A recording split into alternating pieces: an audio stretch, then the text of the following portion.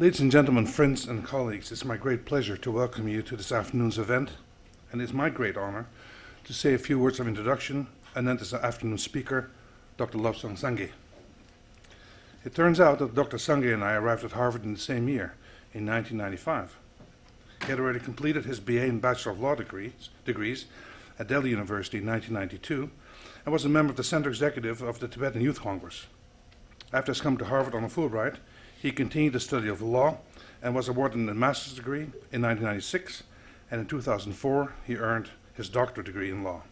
He was, and perhaps still is, the first Tibetan intellectual to have done so. While at Harvard, Dr. Sung has been engaged in organizing and taking part in a series of non-official conversations between Tibetan and Han Chinese scholars, diplomats, and government officials. Periodic meetings were held here at Harvard to this effect over the last decade or so.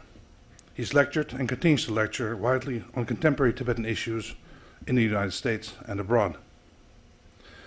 After much soul searching, and he decided to become a candidate for the post of Kalon Tripa, roughly the equivalent of Prime Minister, for the Tibetan government exile that is centered in Dharamsala, India. The election results will be officially posted tomorrow evening, but the pre-election talk of various towns suggests that Dr. Sangay has handily won the elections. I look forward to addressing him as Mr. Prime Minister or Mr. Kalon Tripa if I'm fortunate to introduce him next time he gives a speech at Harvard. The timing of this particular election is crucial. His Holiness the Dalai Lama has officially retired from political life, so that the position of Kalon Tripa, or Prime Minister, has therefore gained much in importance. Indeed, we may be at a critical juncture, and it is my personal hope, as is the hope of many, that a political solution may be reached between the Tibetan government in exile and the Chinese government.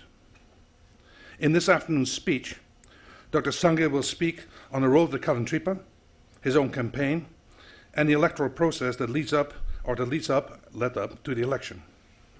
After his talk, perhaps the last before the election results are officially posted, we will have around 50 minutes, that is 50 minutes, during which time Dr. Sangay will take questions and comments on his speech, that is, on the substance of the speech that he has just given.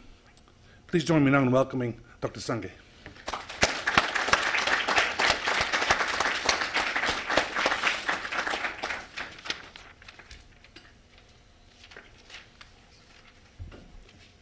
Uh, thank you, Professor Wandakai, for your kind introduction. And uh, after 16 years, if I get elected as you predicted, then you still get to enjoy Harvard University then. But I have to go to India, rather return to India and take the responsibility. So we'll see what happens uh, tomorrow night. Uh, by definitely by Wednesday morning, we will know the result and uh, maybe I'll continue to stay here. Then you get to hear how I lost the election. You know, that might be the next topic of my uh, talk. Uh, so uh, actually, we, when we planned uh, for this talk, I just came to say, you know, um, uh, hello to Professor Merle Goldman and Lydia Chen, and it so happened that they suggested I give a talk, and at that time I agreed. And I also thought it might be quite interesting, perhaps exciting, to do it two days before, or a day before the result is announced. But then uh, now I'm realizing that timing was really bad. Because I get tons of requests from media, uh, especially through email, and my phone keeps ringing. Then I have to you know, reply to a lot of media. Uh, the question is always if you get elected, what would you do? What are your priorities? Things like that. And uh, I've been trying to cope all that, as Professor Wandakai reminded me during lunch, without, uh, uh, without an assistant. So, so far, I've been handling it okay. from tomorrow on, Uh, let's see what happens. When the rubber uh, uh, hits the road, the reality will come in. Perhaps this might be the best day of my pre-election day, right? I was when I look back, as that was the best day, you know. The reality checks in. Perhaps this might be the honeymoon of my uh, campaign, so to speak, when I go back to Dharamsala and assume responsibility if I get elected, then I realize that, oh, maybe this is what, what I, not, I did not bargain for, so to speak, you know. Then I'll be sending you a lot of you know, emails. Uh, do keep those, to keep those uh, emails private. Uh, And what I'll do is, you know, then because it's not a good time for the talk, because I've been juggling a lot of things, and I thought perhaps I should start with a lot of uh, some pictures of my uh, camping trips, so give, give you the uh, the brighter side of it. Then I'll uh, try to do some heavy lifting at the end. What does it mean? You know, what is Tibetan government exile? What are the responsibilities? Things like that. So these are the three candidates, as you can see. The one in the middle is uh, Kungotashi Wongdila, a veteran uh, diplomat. Uh, he has been in the service of the Tibetan government exile for the last 40 years. Uh, ministers of many departments. And uh, this side is uh, former Prime Minister Tenzing Tethongla, and over that side is me. So as you can, uh, so we were the remaining candidates for the uh, post. Uh, in the preliminary round, actually, there were other three additional candidates. One was the Speaker of the Parliament, Deputy Speaker, and uh, Private Secretary of uh, His Holiness Dalai for 15 years. So I was going kind of against, should I say, or competing with um, five really veterans of Tibetan government exile. And it so happened that I was not only the youngest, but also the least experienced in the sense I have never worked in the government exile for even a single day. So I'll show you a photograph where the primary criticism against me was you have no experience working in Dharamsala even for a single day. You have not worked as a uh, member of parliament or a minister. So how can you jump from uh, you know youth activists straight to the post of prime ministership? So that was the criticism. Anyway, so, uh, so we were the remaining candidates. Uh, in some ways, this is a Tibetan style election campaign, uh, except for some Americanized youth uh, with assertive negative campaign in, in, some section. But generally, our, uh, our uh, election was friendly. For example, we shared taxi rides, we shared meals. With Tenzin Tethongla, we shared 12 hours taxi ride from Dharamsala to Delhi and obviously, it was, uh, you know, we started in the afternoon, so it was getting late, and it was during the monsoon season. So the road was you know, filled with potholes. So it was not a obviously pleasant ride, but still, nonetheless, we were at the back uh, of the uh, taxi. So we we're going through that, obviously, you fall asleep.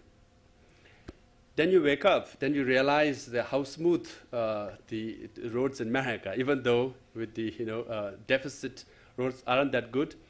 So it was very bumpy. And then suddenly we realized this, this taxi driver uh, doesn't uh, consider uh, what we call uh, uh, street lights as that important. So even this, right, just we just buy, we were like, you know, quite shocked and say, wait, this is if this is the way we go for another four five hours, then we might be in danger. But then you are so exhausted, you fall asleep. Then suddenly I woke up, then realized that this taxi driver also was so tired. He stopped the car by the roadside, by the highway side. And then he also dozed off. So then I looked around. There's a lot of trucks passing by, you know, with like only a few feet away. so any truck, uh, truck could have given a nudge and we could have been in the river. Uh, so uh, with, uh, so we share meals, we meet on the way. You know, so it was a friendly match. We kept it uh, as positive as uh, one possibly could be. So it, was not, it wasn't any na- nasty camping as such. So this was the debate organized in New York, and so organizers, as you can see at the backdrop, there's the Tibetan national flag. Uh, so here I was uh, talking to mainly monk audience in South India, I think mostly in Mundgod area. Here I went to uh, visit uh, Institute uh, with uh, students or children with disabilities, you know. Um, yeah, I was in Simla talking to students, to primary school. So uh, that's one of my campaign poster actually. Those are my three principles on which, uh, you know, that was my campaign platform. Unity, innovation, and self-reliance. But anyway, these posters are all made by supporters, and I have no control over it. Um, interestingly, actually, um, some of my uh, supporters made a website uh, with the snow line as the symbol and because my second name is Lion, Lobsang Sangay is second name. And it so happened that our national flags also have national flag also have lion, you know, two lion, and the election symbol that I also got through lottery I was also uh, snow lion. So a lot of coincidence, yeah. So this uh, young boy, uh, you know, uh, if you go to YouTube, you will, uh, you will see uh, he composed a rap song Uh, uh, promoting me and my candidacy. Uh, so his father is a big time kind of, he made a lot of videos and DVDs of my campaign. So it's in, in Darjeeling, my, my school. So it's one of the Tibetan settlements. Uh, you might not notice because of the uh, sun. Actually, it is in Ladakh. I think 3,700 meters high. Uh, it was in March, uh, minus degrees, very cold actually. So all you can see all, every, all of them wrapped up. Um, at the back side, that was my room actually where I slept. I think. And uh, at night, you have to put on this heater uh, with a cylinder, in a gas cylinder and the heat was, uh, for some reason, I think gas leaked, and uh, I was, uh, I, I, was, uh, yeah, I had, I had a close call actually, uh, but I, so I'm, I'm alive here, so you know, and then uh, again, you can see, you know, the again, this is near the border of Tibet, because March 20th or 19th, on the day it was minus 40 degrees, so the uh, so when, when I say the Tibetan election, Tibetans are scattered in 30 countries, uh, even in India, 50 some places. So um, there's border of Tibet, uh, and minus 40 degrees. These are the local election uh, officials. They're carrying, you know, the ballot papers on donkeys, or horses, and the people walk for a few hours, in three to six, even 10 hours to vote. So, uh, so it's, it's, a, it's, a, it's a major undertaking. So and then if you go down to south to Bandra settlement, uh, there uh, around March 20th, I don't know, but uh, April, May, the temperature will be plus 40 degrees Celsius, you know. So, uh, so from Alaska to Australia, you have to cross continents and countries and, uh, and Brahmaputra River. I'll, I'll share that story later. Uh, this is in Dharamsala again, a bit of negative campaign. As you can see, there are posters, uh, my posters, my campaign posters behind. And in English, it says no experience, you know, some of the supporters of the other side. And then, and then in Tibetan, they say, it says me, no experience again, you know. So, so even though you paste your posters, they make sure that, you know, that my uh, weakness is being uh, uh noticed. So so I said, why not we take a picture right in front of those? So I took that picture, yeah. And the Boston Globe, when they published the front page uh, article, that was the picture actually, I think. it, it, actually says no ex prince. Uh, yes. So, that's, that's, good, you're not from a royal family. no, it does say no, yeah, no ex, ex prince, yeah, I think. Once it's experience as well, yeah. But Tibetan is very clear, nyam me, you know, very simple, straightforward. So we have a bit of, uh, should I say, Americanized or Indianized youth, you know. And uh, this is a football team in South Bylakuppe. The one holding uh, the ball is the uh, our Tibet national football team's goalkeeper. So uh, he uh, told me to kick a ball, and I did. And I scored. so monks. Uh, this is my uh, 15 minutes of fame, so to speak, after the vote. You know, some Indian journalists wanted to ask me uh, questions. Not just Indian, actually, tons of media were there actually that day. So this is the this is inside the Tibetan Parliament. So we have uh, 43 members of Parliament, and uh, in, in Dharamsala. Yes, in India. So this side, all the ministers, the Prime Minister, Samdelo Rinpoche, and ministers sit, and the rest are all member of parliament here. So we have representatives from uh, uh, five uh, four Buddhist sects and uh, uh, Pembo sect, and uh, 10 from three regions, uh, two from Europe, now two from America. So we'll have 44 member of parliament, so members of parliament, and so these are the people I have to deal with. We have two parliamentary sessions, winter session and summer session, and winter is when uh, the budget is being discussed and approved, and summer all the social, political, economy issues. So uh, they are considered my, uh, should, should I say, the opponent as far as power is concerned. So uh, they're all veterans, you know, so I'm sure they're all waiting for me to come. so this is the ballot paper, as you can see. So you get election symbol, your name, and photograph also so that you make no mistakes.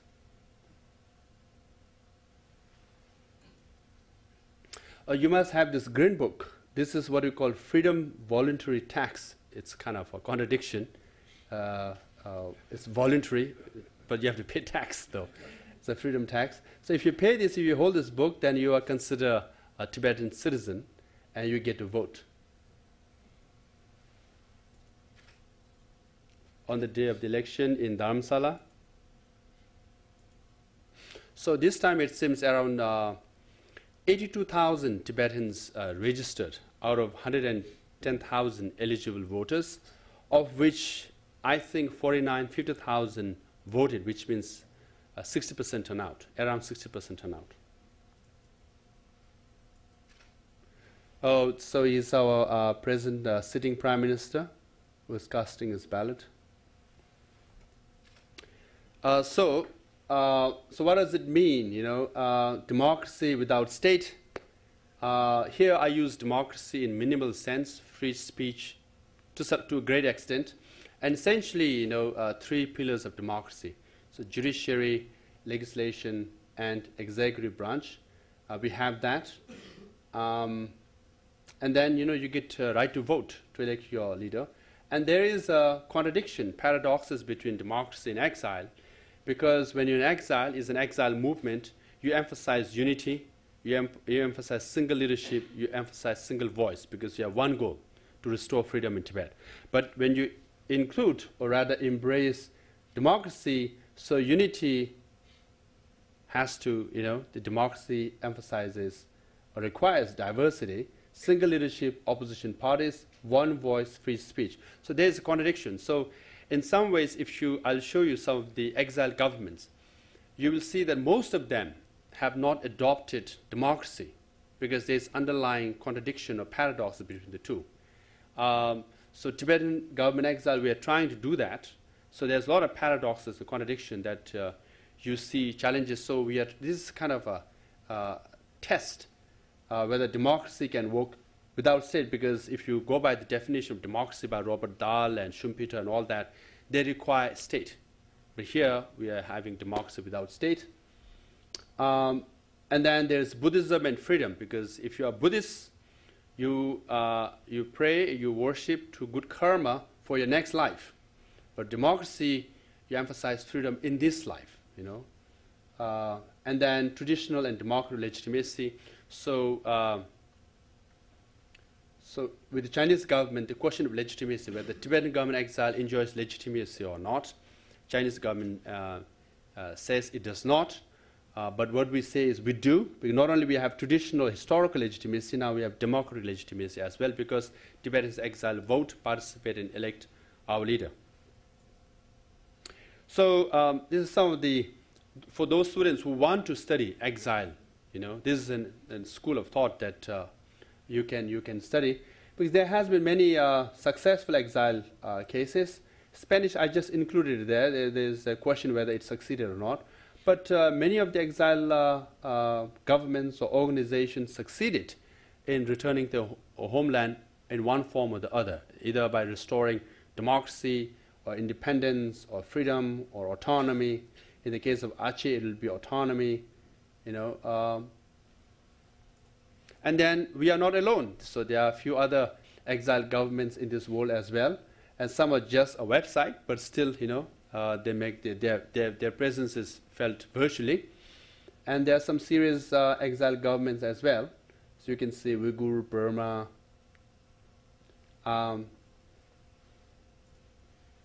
Now, what does it mean? As His Holiness Dalai announced that he will retire from his political role, uh, which means now by the, at the end of May, we will have a special meeting, we have a parliamentary session, and special meeting will discuss the role of Holiness, because Holiness has been insistent, yeah, very insistent, he's persistent, he has stated very, very strongly that he wants to retire, and people have rejected it, rather appealed to him not to retire for se several times. He is persistent now, we have no option but to accept his um, kind of request. Uh, having said that, it's not easy for us to say accept his, you know, uh, absolute retirement. So uh, obviously, in the at the end of May, we will have a general, a special meeting where we'll discuss the role of His Holiness, most likely as an elder statesman, you know.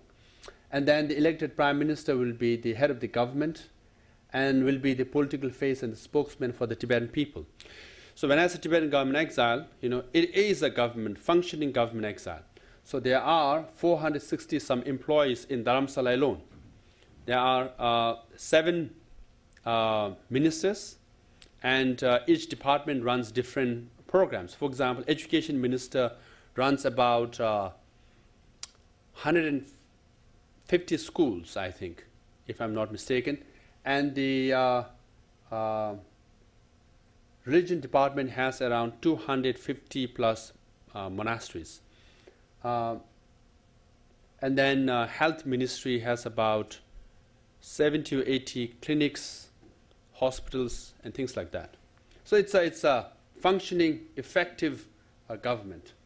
And we have 12 semi embassies around the world, one in New York and uh, in Geneva, uh, Paris, Brussels, uh, South Africa, uh, Taiwan, Australia, so many places. So we do have uh, a court as well. It's called Supreme Judicial Commission, which decides all civil cases.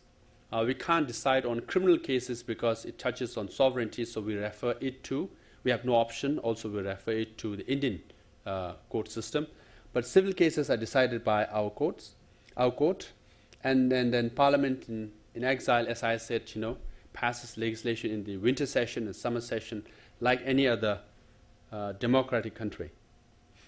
So obviously, you can see China Daily, uh, that's 2009.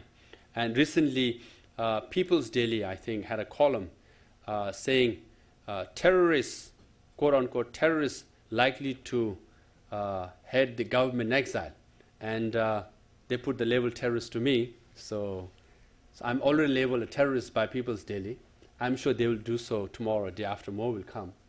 So they have been questioning, you know, whether Tibetan government exile is secular or not. But after this election, they cannot uh, criticize that because His Holiness Dalai Lama will be withdrawing from political role and the next prime minister, whoever gets elected, all three of us, as you can see from the photograph, are all lay people, you know, secular people.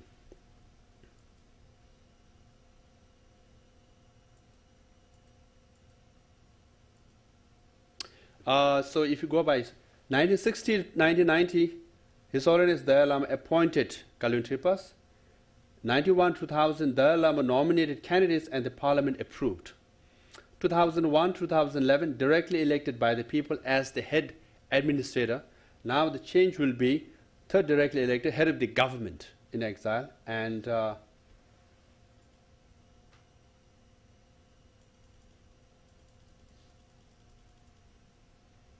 so vote, voter turnout uh, 67,000 people registered in 2001 it increased to 72,000 in 2006 2011 82,000 uh, registered voters. So, so we'll have around 60 percent turnout this time. So it has been increasing rapidly. That this time the election was very exciting, at least in, in the Tibetan context, and a lot of enthusiasm and increased participation. So now, um, so this is this is where I'm blamed as well as given credit for.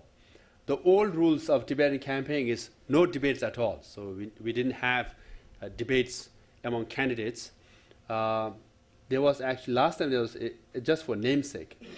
Uh, so no campaign, or you don't visit the electorates, you don't visit voters. And the standard line was, I will not stand for the post, but if people vote me in, then I'll serve. You know, Uh, so that was the uh, so new rules. Actually, I'm blamed and given credit for this. So I literally went. I use what I call Americanized, Indianized kind of a, a camping style. I literally went to all the Tibetan settlements in India, uh, remote corners, um, and in Europe and in the U.S. Uh, but then I had to find a middle way where I should not be seen as too Americanized or too Indianized. Then I'll be uh, what I call blamed for being too aggressive, you know, which is not so appreciated in the Tibetan community. So I had to campaign without campaigning. So ask for vote without saying so, so that even if I lose, so I remain a Tibetan in that sense. So I win as a Tibetan even though I might lose the post. So I had to think think a lot. So Kennedy School, you know, Harvard helped me a lot finding the middle ground. So it seems it worked it worked uh, fine. So uh, so if you're interested, I'll let you know. Actually, you know, when you travel, uh, literally you have to travel for 20 hours by taxi from one place to another. Then you reach in the middle of the night, either midnight or past midnight. You sleep four five hours, give talk in the morning, in the afternoon, then travel another 10, 12 hours, then sleep for a couple of hours. So that, that's how it was. So uh, finally, uh, we made it to the destination. Uh, so those kinds of experience, you know, uh, are quite challenging. Uh, so, as you can see, I, I, said most of the things. Uh, you have to literally travel to countries, not a district or even a country, right? Barack Obama had to travel all the way only to Hawaii, right? Other than that, he didn't have to travel that far. But we really have to travel everywhere. So uh, it could be minus or plus 40 degrees, oh, we had 17 rounds of debates between me and the former prime minister. Uh, and crossed Brahmaputra River, 20 hours, five countries. Uh, we did, I did nine, nine in five countries in nine days. That was the final stretch. So what is the reward? If I get elected, what will be my salary? My salary will be $400 a month. And I believe there is no provision for cook because the present prime minister, as you saw, he is a monk. He lives a very Gandhian, austere kind of life and he lives very uh, in a very simple way. He doesn't need cook, you know.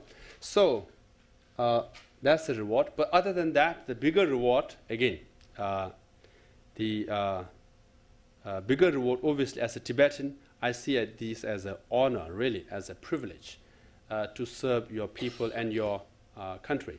So as far as personal gain or interest is concerned, or physical comfort is concerned, I think it's on the minimum side, but the mental satisfaction or deeper satisfaction is concerned, I think it's on the maximum side. So that's what you're uh, looking for, and we will know in uh, two days' time whether I get elected or not. And this is what I'm uh, going to do. So, Harvard Connection.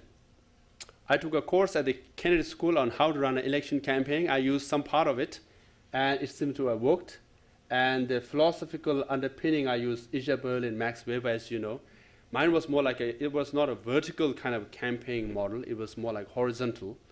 Because, you know, if you follow liberalism or Max Weber, any kind of institutionalization will attract bureaucracy and vested interests. So mine was like I traveled all around, had my contacts at local level, and more at grassroots, it was a bottom up kind of approach. Uh, it worked. And uh, if you want to run for an election, you have to have your narrative right, public narrative. Again, I took a course at uh, Kennedy School by Marshall Ganz. And uh, you know, he taught Obama, and it seems to have worked for Obama. It worked for me too, actually. So I got my public narrative right, and then you take courses in uh, leadership, uh, and it does help you, you know, the holding environment. So normally, as a normal person, whenever there's tension or conflict or criticism, you take it personally. You sometimes you respond abruptly, or you know, uh, you don't actually. And then my uh, training or education here at Harvard about China, India, you know, about human rights, all these were part of the package. So uh, I don't want to put too much pressure on y'all. If I fail, it'll be partly because Harvard didn't prepare me well, you know. if I succeed, it'll be, again, a partnership on our part, yeah. So again, George Bush and Barack Obama studied here, uh, so it did help me. So they said, oh, a monk put it best. He said, oh, we don't have to question him. Look at the factory he's coming from, you know, which manufactured Lobsang Sangay. That's what it said. factory manufactured George W. Bush and Barack Obama. That's Harvard University. Uh, so it should be good. So these are the things uh, worked for me, and I used a lot of uh, knowledge and wisdom that I've learned here at Harvard uh, from East Asian Legal Studies program. I see some of my friends and colleagues are here. I'm very proud to be associated with them. And I'll take piece of Harvard with me and do the best I could. Hope I succeed. Uh, if I don't, I'll come back and blame you all guys. Thank you so much. Yeah.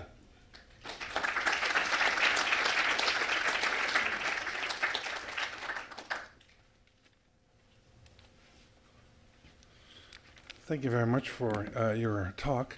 And the floor is now open for questions.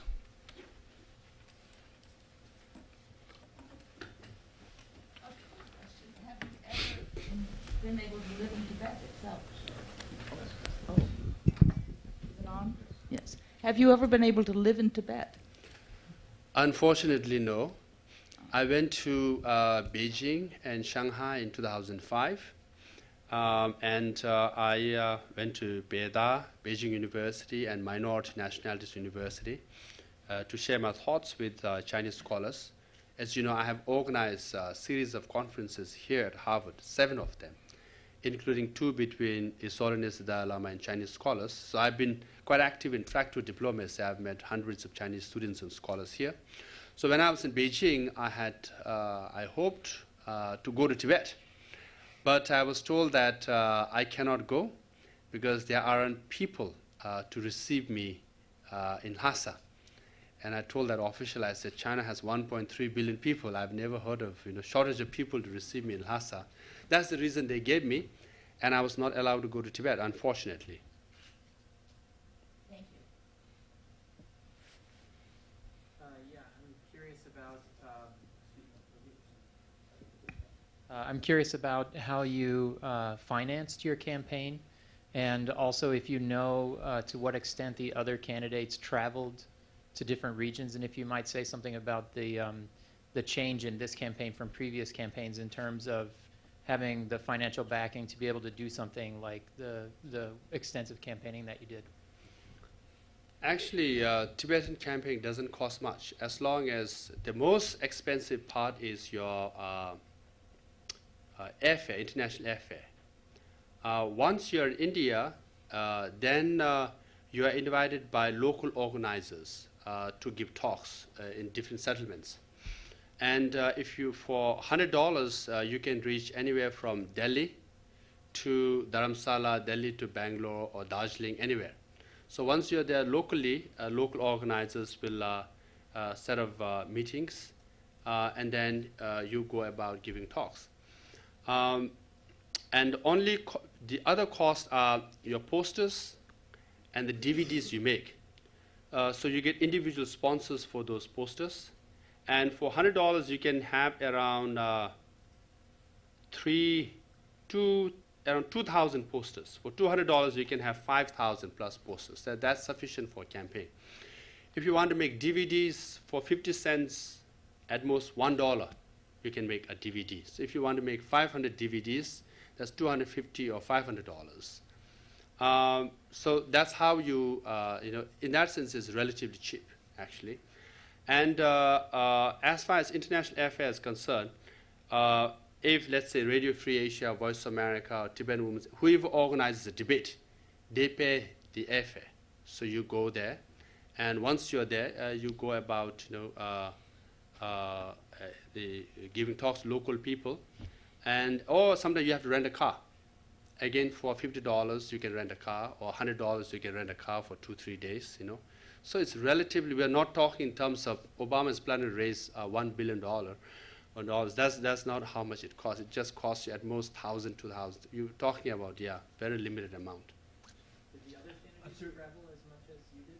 Yes, not in the preliminary round, but in the final round they did. Uh, when was the Constitution created? Is it a work in progress? And from the, from the looks of it, it looks, um, don't know if people heard me, but I asked when the Constitution was uh, created, if it's a work in progress. And on the face of it, it looks like the legislate, legislative branch and the executive branch, which is running the departments, uh, is the same, would be under the Kalon? Tripa? Uh, the Constitution was created uh, one in 1963, uh, and then we changed a lot of uh, those because that Constitution was created for Tibet, for inside Tibet, and in 1991 we drafted another Constitution called Charter, which has uh, which is mainly for exile administration. Um, and then now we are going to make a lot of amendments to that charter because we are going to change a lot of provisions regarding His Holiness Dalai Lama's authority. Uh, and then we'll have uh, uh, amended charter now. Um, the yeah, it's a different system actually. Legislative branch, the parliament will have uh, members elected independently by the people, and Kalon Tripa is elected independently because we don't have party system. So the prime minister does not control majority in the parliament. So they are independent individuals in the parliament, and the uh, Kalon Tripa is also indivi- independent uh, uh, prime minister.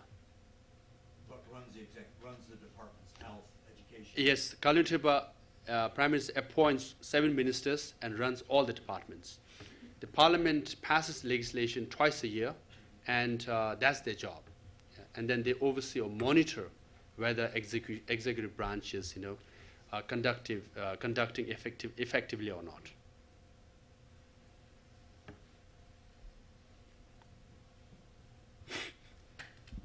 Hi, thank you. Uh, I was curious that how you counteracted the the uh, criticisms about having a lack of experience. How did you make your case to the public that would counteract the effect of that? Number one, and just the second question: What were the main issues that seemed to differentiate yourself from the other candidates? Um, were there were there any issues, or was it a matter of sort of who personally spoke to, to the viewer, to the voters more? Um, lack of experience, yeah, I, I think upfront, um, I acknowledge I've never worked in Dharamsala, so I don't have that experience. Um, and then um, I define the role of uh, Kalon Tripa as five. One, you have to understand the uh, situation in Tibet. And uh, second, uh, once you have understood, you have to uh, advocate and educate, create awareness at the international uh, level and seek support at the international level. And third is engage with Chinese people and confront uh, Chinese government policies.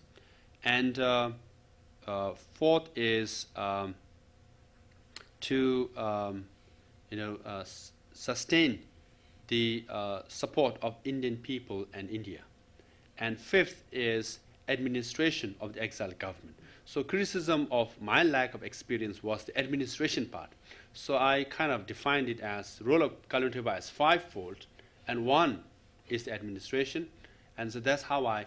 And then uh, people seem to have resonated. Actually, in in some ways there was an atmosphere for change, and in fact, they were, it seems they were looking for a candidate who had least association with Dharamsala.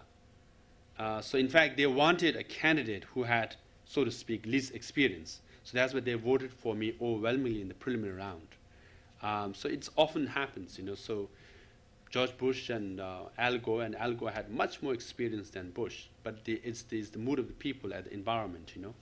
So it seems their mood, mood was for change, and I tapped into it, and then it worked. And as far as issues are concerned, uh, not much difference actually. Tashi Wangdila on the on the center, uh, because he he, he was uh, ambassador ambassador to Brussels till recently. So he his line was everything as it is, you know. Um, so that was his line because he cannot say anything than that. Otherwise, they will say, "And "What have you been doing?" Right? And uh, Tenzin Tethongla was more on uh, kind of a little bit on the side. He was for self-determination, you know, more on the independent side. Uh, so I was right in the middle. Uh, I was for middle way, that is you know, seeking genuine autonomy within China. Uh, but uh, I will use innovative ways to make ourselves more effectively. So I, I, in some ways, I was right in the middle of not as it is, but not such a radical or drastic change, you know, but for a change nonetheless, yeah.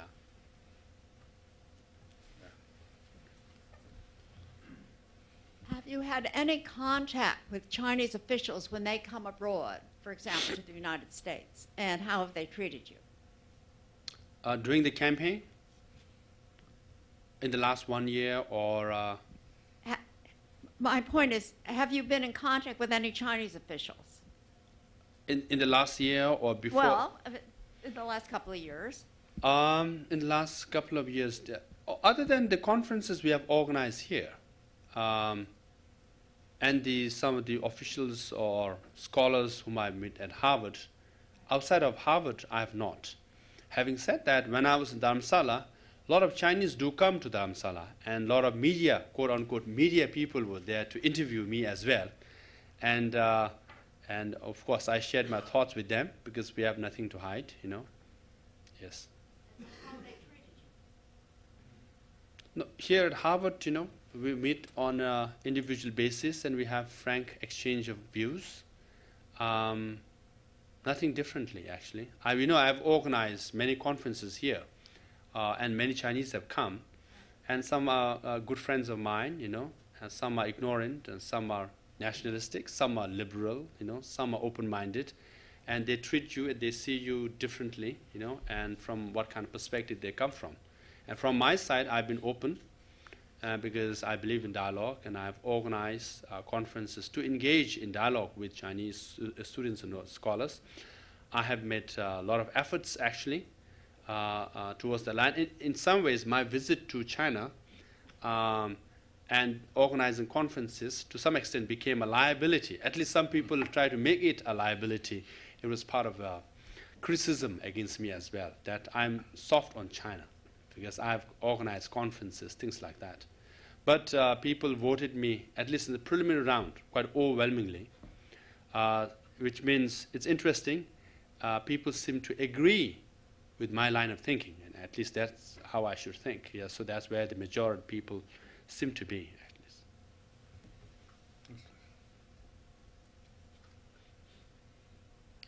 From the photographs, it appears that monks and nuns can vote. And I wonder if there's ed- any evidence that prominent lamas endorsed you or any other candidates. Prominent lamas uh, did not endorse me outrightly, but I'm also uh, kind of uh, uh labeled as monks like me. You see, monks who might they, they kind of it's uh, considered that uh, absolute majority of them were behind me. That's the label. But no lamas endorsed me. But who endorsed me were former political prisoners, Tibetans from Tibet, who have come recently from Tibet. Among them, some very prominent ones. Tanak Jigme Sangpola, who spent uh, 36 years in prison. Uh, Palden Gyatso, uh, 33 years in prison. Uh, Phagdo, he spent just a year or two. And someone who participated in 2008 uprising. So they also see, they also saw me as someone um, uh, it seems I've resonated with them as well. So many prominent former political prisoners uh, endorse me.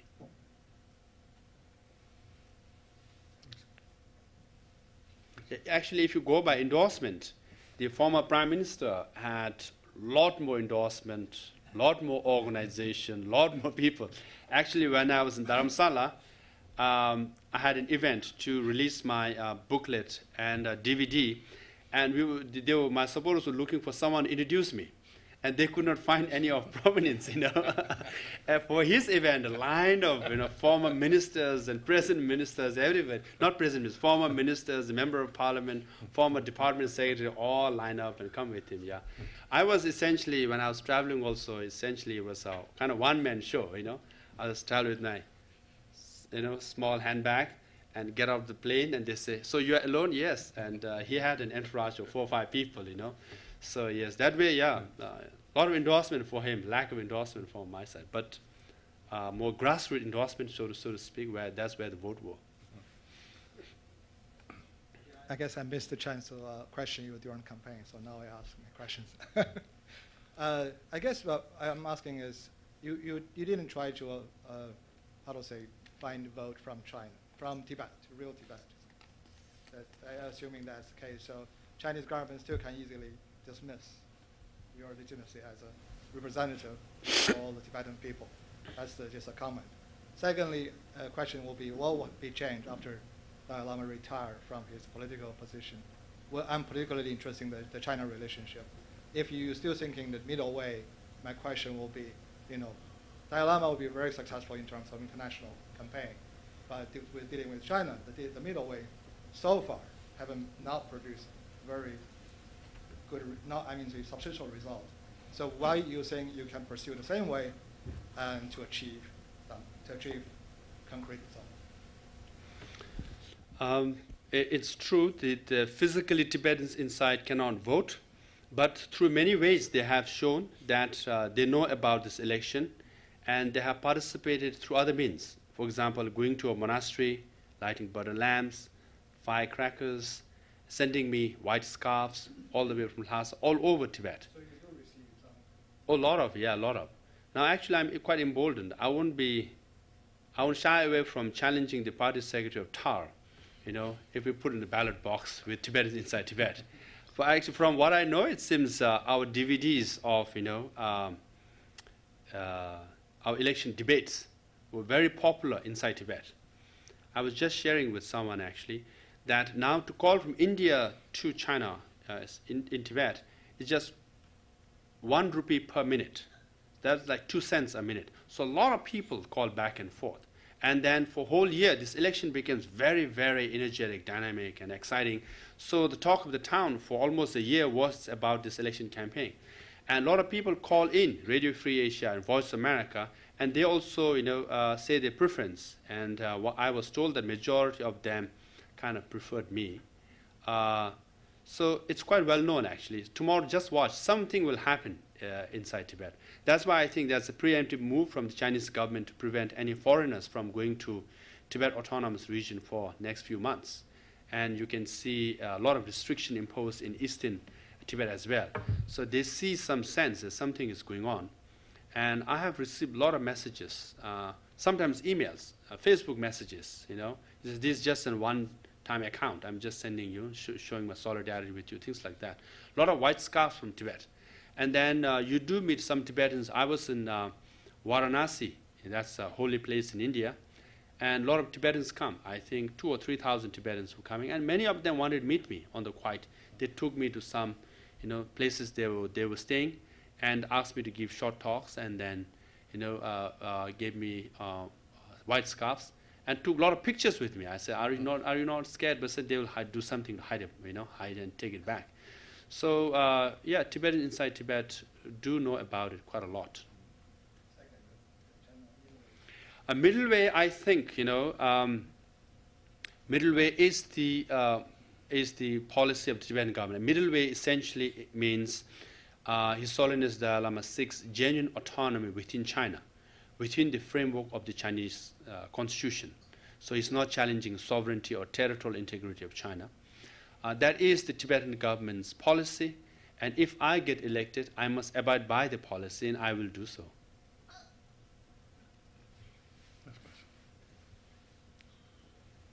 Okay, thank you. Uh, we all know that the Dalai Lama is real, uh, has been the, um, the leader uh, for many, many years. And, and you, you said, uh, you listed the five roles or functions of the uh, government will play. So I wonder, after the retirement of Dalai Lama, what will be the real, I mean, the real relations between you, if you are elected, and Dalai Lama? Thank you. Um, you know, His Holiness Dalai Lama is our leader, uh, will always remain my spiritual leader. He will always be my source of inspiration. So our respect and love and loyalty for him is very strong. So it's not so much to uh, replace him, uh, but rather to live up to his expectation and fulfill his vision. Vision is that uh, if I get elected, I should be the head of the government and become the political face and spokesman of, for the Tibetan people. And uh, I will do to the best of my cap- uh, you know, capacity to be as effective uh, spokesperson for Tibetan people as I could. And uh, That means you will be a follower Me- instead of a true leader. I will be a follower. And I will be uh, uh, taking in charge of the government and the political side of the Tibet issue.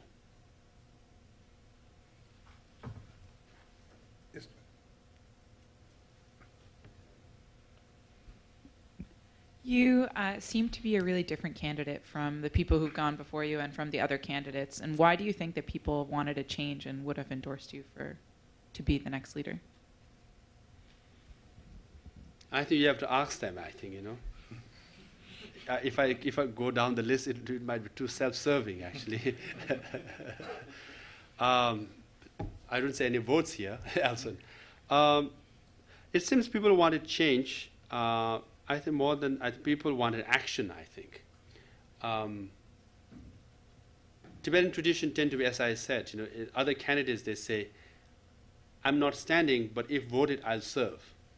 Uh, but rather, I went and met people, and I told them, you know, if you vote for me, I'll serve. You know, uh, so I kind of uh, put myself out there, and uh, I think people uh, like that actually. You know, who takes responsibility, and upfront says, I will be accountable for your votes.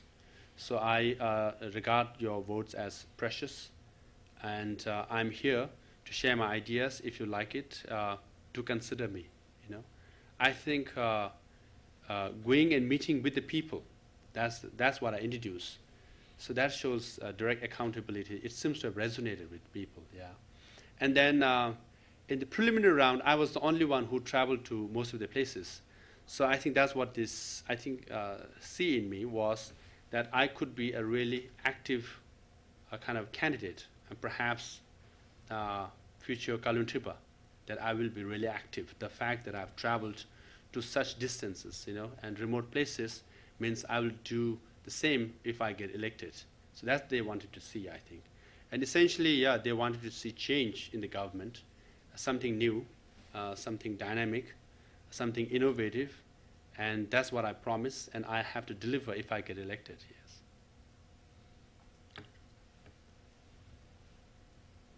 Uh, thanks very much for your your very interesting and uh, personalized presentation. Um, I enjoyed it a lot. Um, my question is about, uh, follows on one of the earlier questions about legitimacy. And how do you see separ separating the um, clerical from the secular and the direction of the government in exile that you described towards a more democratic system?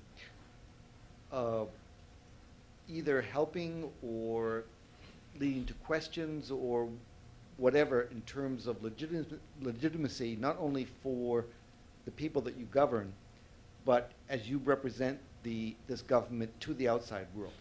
In other words, how will the outside world view this further separation from the Dalai Lama to a government led by you, and then how will that then affect your relations with the rest of the world and other governments? If you define legitimacy as, you know, um, people's mandate, you know, then if I get elected, I will have the legitimacy because I will be voted by the people freely and with democratic mandate. If you look at the Jasmine Revolution, they say they want to remove the government without legitimacy. They want a legitimate government. In short, it's translated as democratic elected leader. If that is the definition of legitimacy, I will have that because I will be elected by the people. Second legitimacy is traditional legitimacy because His Holiness Dalai Lama is an undisputed leader of Tibetan people inside and outside. And he, for one, has extended his credibility and legitimacy to this process by saying, I am withdrawing from the political role and handing over to you. You have my blessing, you have my support, and, uh, and uh, you go about representing and speaking for Tibetan people. You know, so he is also extending his traditional legitimacy to the process. So I'll have, if elected, both traditional legitimacy and democratic legitimacy. You know, and then uh, if freedom-loving people, if uh, you know countries with democracy system uh, believe in you know democracy, and people's mandate, then uh, I should have the legitimacy to speak at least for the people who voted me um, and to those people inside Tibet as well, because given a choice, they will also participate in the election. And then, one thing is very clear I will have much more legitimacy or absolute legitimacy than the party secretary of Tibet Autonomous Region, right? He would have no uh, mandate from the people, uh, and uh, I will have the democratic mandate of the people. You know, uh, in that sense, actually, um, one reason the Chinese government is labeling me, you know, because they want to distract from this uh, question of legitimacy. Because I will have the democratic mandate, whereas the Chinese uh, uh, uh leaders in Tibet or Tibet Autonomous Region don't have that mandate.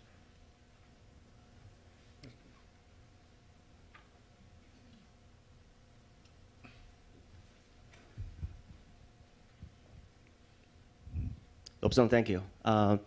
Uh, I actually have uh, three questions for you, uh, if you don't mind. The first question is, uh, what's your agenda for your first 100 days if you're elected? Uh, my second question is regarding the, uh, somewhat related to His Holiness the Dalai Lama's retirement. how would you go about the continuous, continuing dialogue with the Chinese government? For example, the special envoy to His Holiness, will he become the title will be changed to Special Envoy to the Kalon Tripa. Um, okay, I think of a third question now. But for, for now, just two questions. Thank goodness you forgot the third one. it might be equally tough. The you know, Tibet election doesn't work like this. You know, what are your agenda for 100 days, you know, first year, things like that. I introduced the concept of manifesto, you know, in this election. So uh, I had 10 questions, I answered them, you know, in which I emphasized, number one priority is always and will always remain to restore freedom in Tibet, you know, to uh, recognize and respect uh, Tibetan people's uh, dignity and identity. So that will always be the number one priority. And other than that, as I listed, international awareness, you know, uh, sustaining support of India, and uh, you know, uh, the having conversation with Chinese people, um, and and Domestically, yes, improving education will be my, my number one priority. That's what I've said. Mm, as far as His Holiness envoys are concerned, uh, I think we will debate this at the end of May. Uh, a special session will debate, and then you're right, actually, without having some role for His Holiness in this, you know, governing. We have time for one last question. Yes, uh, just, how long is the term? Five years. Five years. Okay. And, and, and one last one, uh, will you have uh, Secret Service protection? Secret Service protection, yeah, I will have. He left the room, so I think it's, he's there. No, he's, I will have uh, one person. Uh, yeah, I can again. I just said four hundred dollars, but yes, uh, the uh, the the the Prime Minister's office will have around thirty or forty staff members. So there will be chief of staff, like any other government, chief of staff, joint secretary, things like that. And then yes, uh, one se- security person with me and a driver and car. When, when you're visiting the states, you'll have. It all depends. I, I don't like those kind of things, so I might, you know, maybe within India, you know, secure a person. When I come to the states or Europe, I, I don't think it's necessary. Because see, you know, if they want to get you, they'll get you no matter what. You know, one or ten is not going to protect you. So you know, you just leave it to your karma, and. Uh, go about doing your business. It's an extra cost. Our government doesn't have such high. When you visit the states, where you have, is there a level of acknowledgement? Because it took us a lot of years to get His Holiness uh, head of state designation, so he was protected when he um, uh, by the State Department. Not so sure. No discussion yet. Yes, not discussion yet. I think this prime minister, he is a Gandhian. You know, he said he doesn't need much. yeah. Yeah, Lydia. So final question. Lama prefer one or the other of the candidates? You got to ask him when he comes next time. but I, I, I, I uh, the, uh, there was a long life uh, prayer offering to His Holiness uh, the Alam recently, just on um, two days ago, and the, by the uh, Tibetan government officials, and in which he said, "It looks now we will have a young Kalon Tripa from the younger generation." and uh, he did say he's, uh, he has you know, his blessing is with the with the young uh, Kalon Tripa, and he urged all the staff members to support the next young Tripa, and as uh, same as before, he said he will always be there. So his blessing is already given. Wonderful. I think this uh, will conclude our uh, this afternoon's session. I'd like to thank Dr. Sangay and you all for your attendance. Thank you very much.